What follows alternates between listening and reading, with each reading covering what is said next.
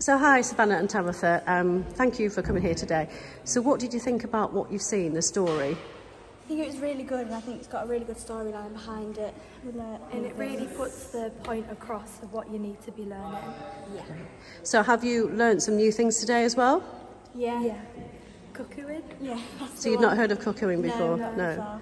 Before. So, that helps you, the, you think the animation helped you to understand what that Yeah. meant? Yeah. Yeah. And of course, Luke, uh, he's gone missing at the end, so you got to understand what the debt bondage meant as well. Yeah. Did you know that before today? Uh, no. So you think the story was impactful and, and worthy of watching, yeah? Yeah. So, yeah. Brilliant. Thank you very much, girls. Thank okay. you.